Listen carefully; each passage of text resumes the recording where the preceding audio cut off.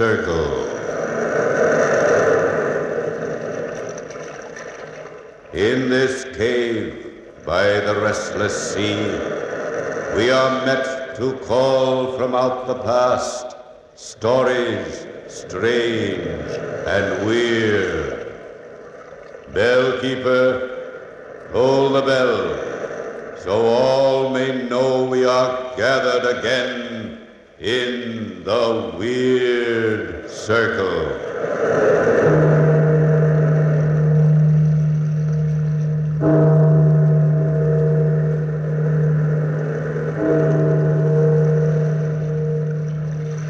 Out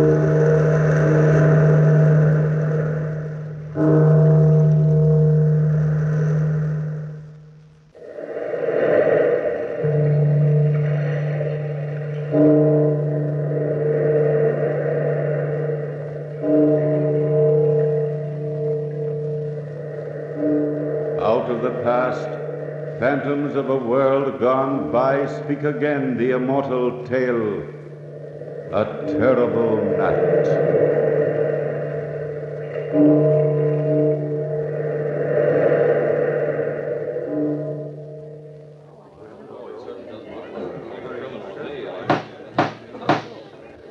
Silence in the court. Next witness, please. If Your Honor, please. The next witness is Charles Castar, the defendant in this case. Will Mr. Castar please take the stand? Silence in the court.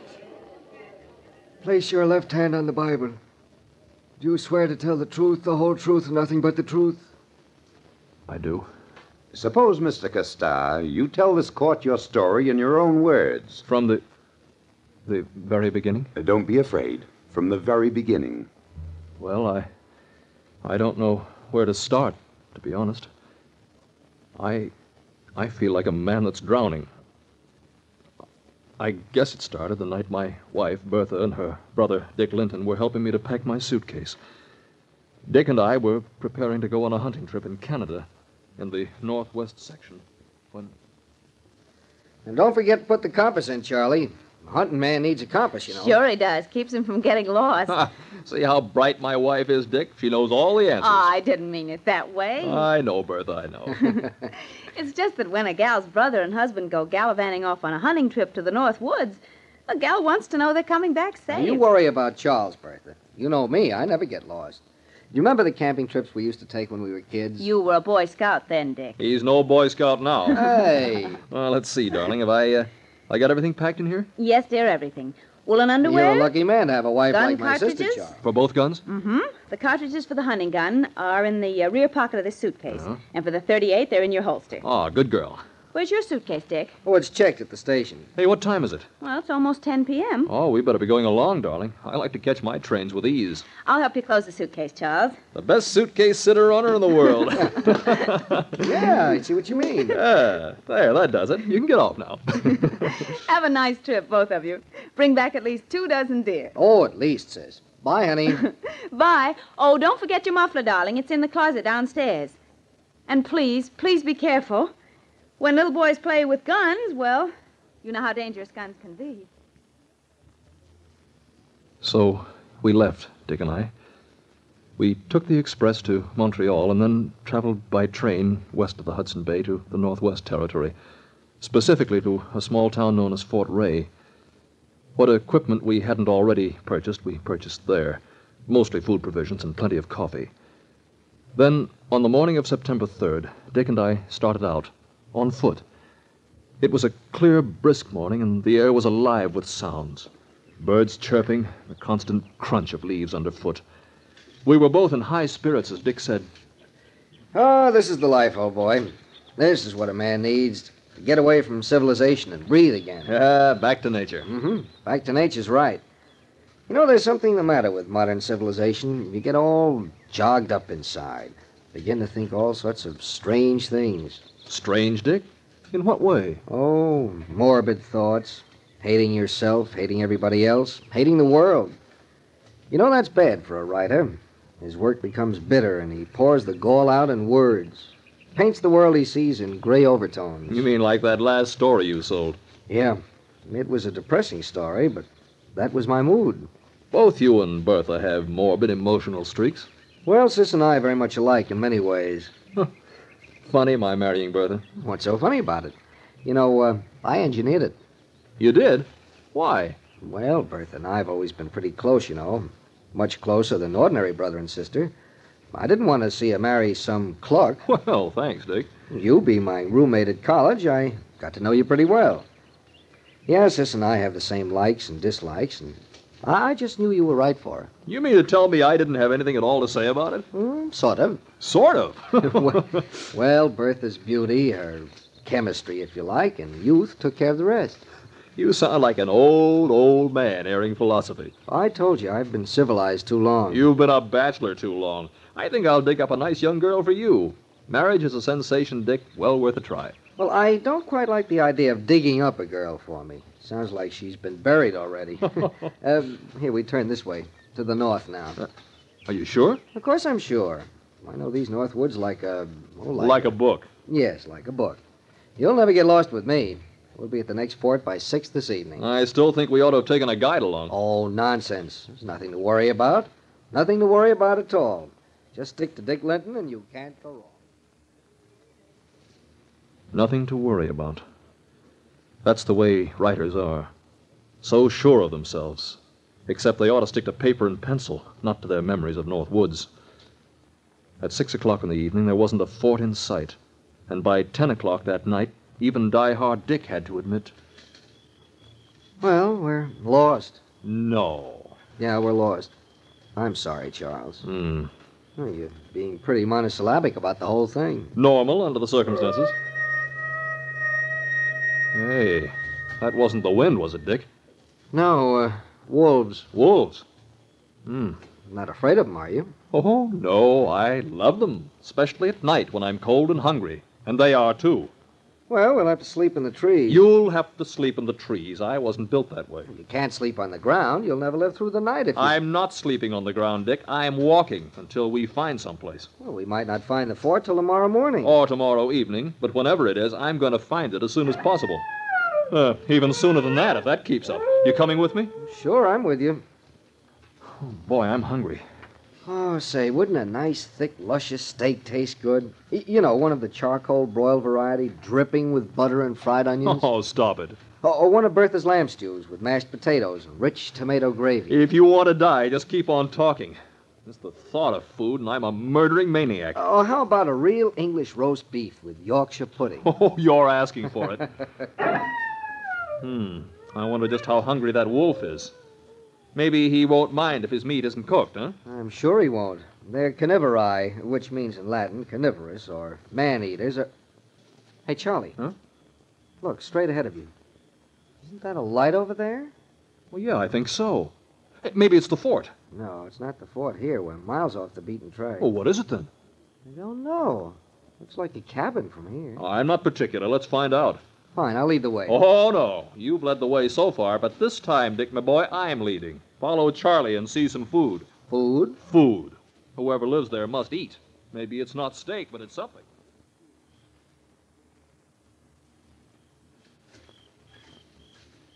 It is a cabin, all right. Sh- shall I knock on the door? Well, you can't get in any other way. Huh, who can't? This rickety old shack could be blown down by a good strong breath. Hmm? Funny looking place, isn't it? I'm not amused. Knock on the door. Such a timid knock. Uh, my hand's numb. Yeah, we'll try it again. Hope this guy's friendly. Yeah, so do I. Uh-oh. Our friends are sniffing about again. And I don't look at all well in tomato sauce. Oh, Charlie. Evening. Something I can do for you, gentlemen? Uh, we, uh, we managed to. Uh, we, we hope to find some place to stay for the night, sir. We're we're completely off the beaten track. Huh? You don't say. Come in. Come in, gentlemen. Yes. I'd be delighted to put you up this evening if you don't mind sleeping on the floor in the attic, Well, at this point, we don't mind anything. don't you? Uh, uh, my name's uh, Charles Costar, sir, and uh, my friend is Dick Linton. How do you do? My name is Joel. Just Joel. At least, they used to call me Joel. Have you eaten yet this evening? Uh, no, as a matter of fact, and we're starving. Come in and sit down, and I'll fix you some dinner. That is, if you don't mind my meager rations. Oh, we don't mind anything at this point. Uh, do we, Dick? Oh, no, no, definitely not. Uh, there's an old American saying, you know, uh, food is food. Let's eat, huh? I'll fry some deer steak for you, and I've some wine. Oh, wonderful. Uh, tell me, Mr. Joel, uh, do you live here all alone? Unfortunately, yes. You see, I'm an outcast from your society.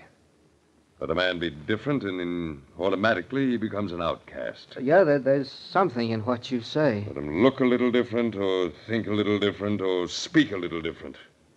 And he becomes a marked man. The individual is not allowed the privilege of individuality. Mankind doesn't permit it, Oh, I. I don't think so, really. don't you? I'll just set the table, and you can sit down over here and eat. Uh, come along, Charles. I can prove my point. Now look at me. I'm different. Larger than most men, I unfortunately grew too tall. And I'm too ugly for the average man to, to stomach.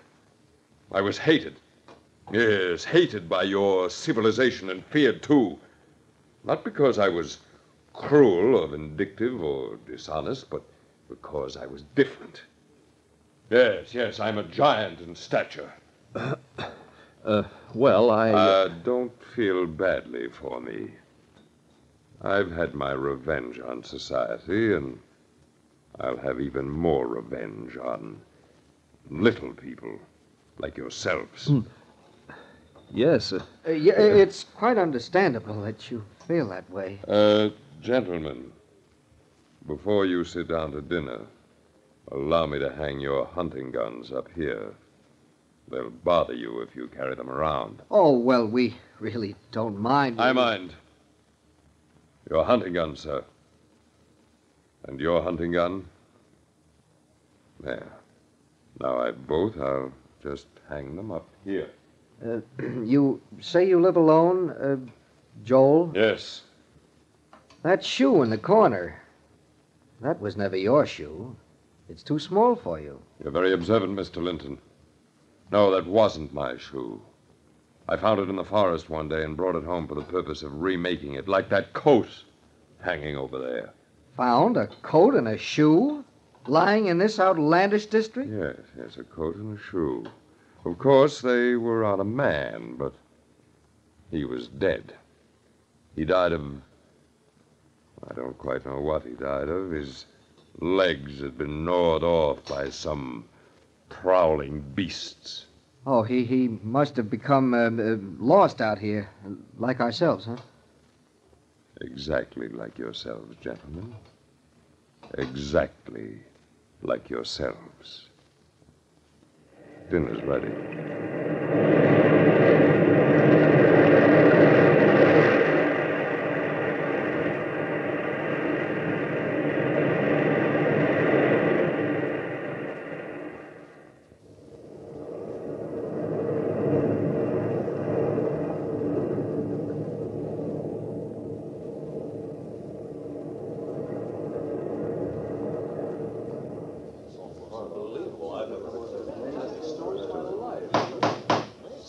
Silence in the court.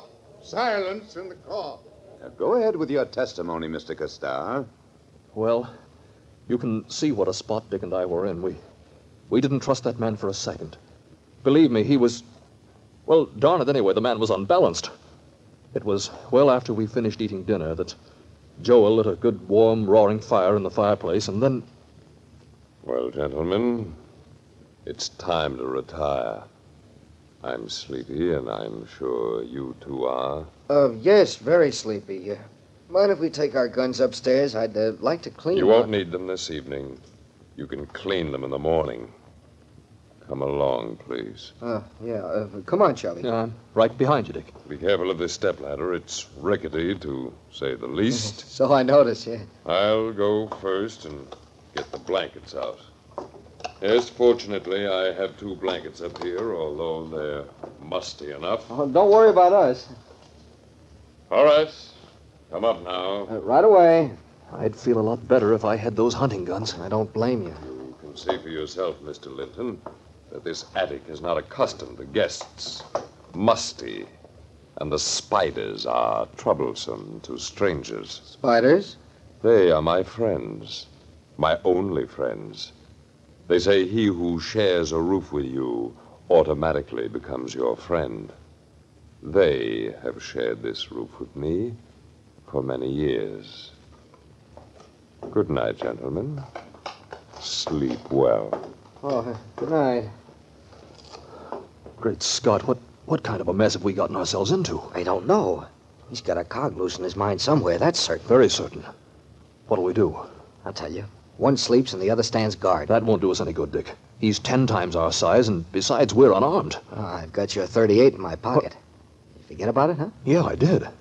Look, through these boards in the attic. You can watch Joel very easily. The fireplace throws a nice light on him. How will we arrange the watch? Well, you go to sleep for an hour. Yeah. Then I'll wake you up, give you the gun, and then I'll go to sleep for an hour, and you stand guard. Okay? Yeah. Uh, what time is it now? Uh, 1 a.m. What's he doing down there? Curling up on the floor near the fireplace. About to go to sleep. I hope he sleeps well. Too well to wake up. In case he doesn't, I hope your gun works. That's all. Oh, I'm so sleepy. Good night. Proceed, Mr. Costar. Yes, I. I put my head on the floor and slept. But I slept a troubled sleep, a restless sleep, and my hands kept clawing the floor, a floor that was alive with insect life. Then, no sooner had I put my head on the floor than it seemed Dick nudged me. Wake up. Wake up. It's 2 a.m. Uh, uh, huh? Oh, okay, okay. What happened? Nothing. It's your turn now. Oh, I'm really licked. Really licked. So much walking and then all this. He was quite right. All this. He lay down on the floor, and soon he was sound asleep. Sleeping like he was drugged. Poor Dick was all in. I sat upright, concentrating on sitting upright, to keep my eyes from closing. I was so tired, and my blood ran cold as I kept my eyes glued to the still figure which lay beneath us. The hut was so quiet that my wristwatch sounded like the beating of tom-toms in that silence. Tick, beating off the seconds, perhaps slicing off the seconds left of our lives. And I waited and watched, waited and watched. Then suddenly the huge figure beneath me stretched his huge form in front of the fireplace and yawned. His large, expressionless eyes sought mine through the planks of the floor, and I thought for a moment he saw me sitting there. Perhaps my crouched figure in the attic somehow threw a shadow down on the floor of the hut below. Then he arose, cat-like. That huge form arose gracefully and quietly. He eased himself up and walked to the door, as if listening for someone or something. Then, just as quietly, he opened the door and Yes? Yes? Yes, come back shortly. Shortly. he said, Come back shortly. Who was he talking to? And what was he talking about? Come back. Come back to murder us.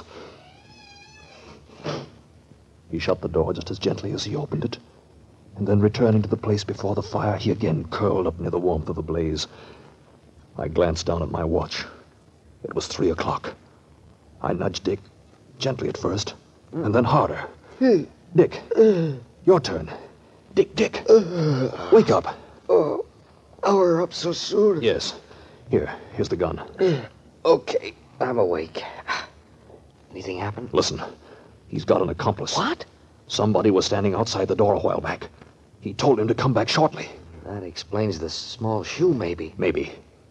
I'm so tired, I don't think I can sleep. I. I don't think I can sleep. Ah, you'll sleep. Just relax. I don't think so. Really, I. I.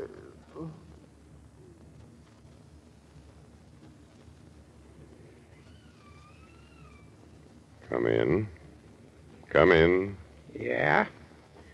Are they uh, asleep now? Yes, fast asleep, the poor fools. One of them thought he could stay awake. I could see them taking turns staying awake. But I put enough dope in their wine to knock them out completely. Have they much money with them? Who knows? But whatever they have, we need. Here. Give me that log you brought in. Here you are. Now I'll splinter it like this and light one end of it. Nothing like this wood burning to dope them completely. What'll we do with them later? Put them outside for the animals. Hmm. I'll wait down here for you. You go upstairs. I won't be long. These things never take very long. Dick. Dick. Give me the gun. Give me the gun. Huh? Dick. Dick. ha- Have you fallen asleep? Dick, wake up. Dick, are you doped? Huh? Dick, he's coming at us. Give me the gun. Give me the gun. Please, Dick, give me the gun. There. There, I've got the gun now. You're laughing at me. You're laughing. Time to wake up now for the last time. No, take this. There. There, that's got you. That's got you. That's got you. Where's your friend? Where's the little man? Dick, help me find the little man now. Help me, help me, help me. Dick. Dick. I was stunned. Completely stunned. The room looked strange to me. The smoking gun in my hand looked strange to me. The whole world seemed to blot out in front of my eyes, and suddenly I looked down at the dark mass lying at my feet, and then I looked up. My eyes were absolutely level with Joel's eyes as he climbed up into the attic. Then, in a voice filled with horror, he said, Great Lord, sir. What have you done? You've killed him. And he was just about to wake you. Yes, I killed Dick Linton, my best friend, when he was just about to wake me. I'd been dreaming, and I killed him. Thank you, Mr. Castar. My next witness is Dr. Harding. Now, Dr. Harding, will you please take the stand? Yes, sir. Place your left hand on the Bible. Do you swear to tell the truth, the whole truth, and nothing but the truth? I do. You heard the testimony of the defendant, Dr. Harding. I did, sir. Is it possible for a man, a man asleep as he was, to fire the gun load at his best friend because of a nightmare? It was more than a nightmare. It was somnolentia, sleep drunkenness. Overtired as Mr. Coster was, his nerves were overtaxed, and his fears and suspicions had been aroused. This result is perfectly natural and certainly medically sound. The defendant was not in his right mind at the time of the murder. Uh, thank you, Dr. Harding. Gentlemen of the jury, to sum up this case, Joel the giant had told his guests the truth about the shoe. At the time he opened the door, he was just talking to his dog, who had been scratching outside. But to a man mentally exhausted and filled with fear, Joel's actions were certainly those which would arouse suspicion. Gentlemen, in behalf of my client, I beg leniency. Leniency.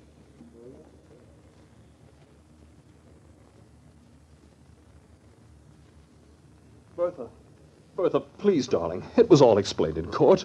This doesn't change anything between us, nothing at all. Doesn't it? I love my brother more than you can understand, Charles. I know the court has ruled you innocent. But a court of law has very little to do with a woman's heart. If you love me, Bertha, I'll always love you. But I'll never be able to trust you again. There are seven days in a week, Charles. Some of those days, I'll love you and forget this whole horrible affair. But more days, my brother's face will loom up in front of me. But Dick would understand. I wouldn't see you because his face would stand between us.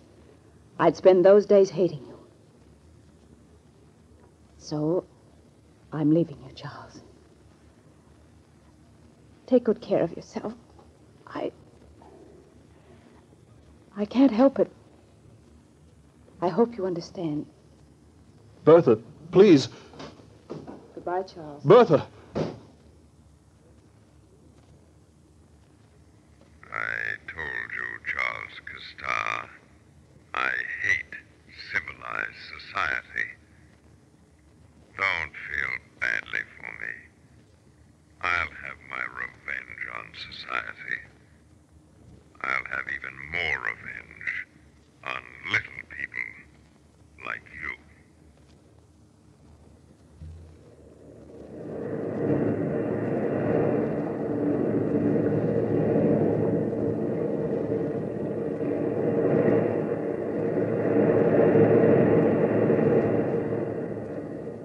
From the time worn pages of the past, we have brought to you the story A Terrible Night.